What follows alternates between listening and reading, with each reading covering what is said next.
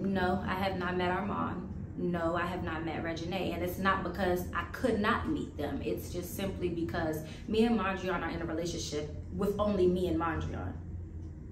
Armon and Reginae are Mondrian's friends. So I feel like when I meet them, when that day does come, great. Like, but I'm not rushing it. I'm not pressed for it. I'm not forcing it. And I feel like y'all are trying to force it more than I'm even trying to force it. I wake up every day with Mondrian, knowing that I have him for him. So everyone else that comes alongside and comes with him, great. I'll meet them when I meet them. But it's like a lot of y'all are just trying to basically say I'm doing this to meet them and I'm doing this to get close to them and stuff. And y'all don't even know if that was the case, I would have been met them. I've, it's been plenty of opportunities where I could have been met them and I just